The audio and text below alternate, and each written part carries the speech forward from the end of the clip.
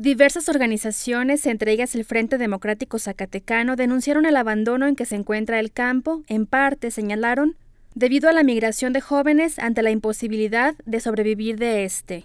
Hoy están emigrando principalmente a la zona urbana y se quedan en las tierras, en sus lugares de origen, los uh, padres de familia que ya la mayor parte de ellos, estábamos hablando de cerca de un 70%, son gente que alcanza una edad avanzada y por lo tanto tienen limitaciones serias para poder producir nuestro campo.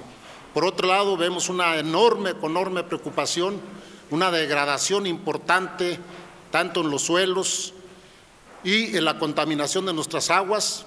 Tenemos el ejemplo de toda la zona del Valle de Ojo por ejemplo, como los residuos de la mina El Coronel, los, los, de Salaverna y todos los que están cercanos a estos explotación, porque el Estado ha definido como prioritario la minería, no al campo este, mexicano.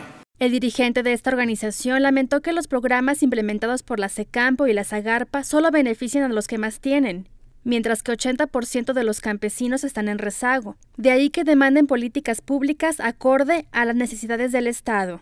Hay mucha gente que adquiere maquinaria y nos plantean que la maquinaria tenga que ser necesariamente nueva. Y eso hace que solamente aquellos que tienen la posibilidad se pueden endrogar con un tractor que dura, que cuesta más de 400 mil pesos, mientras hay compañeros que ya no tienen ni siquiera los este, animales necesarios para la producción.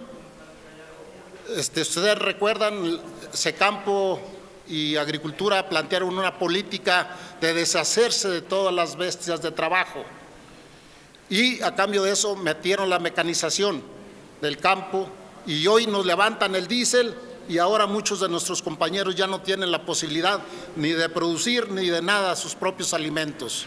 Con imágenes de César Rodríguez para Sistema Informativo CISART, Arazú, Tinajero.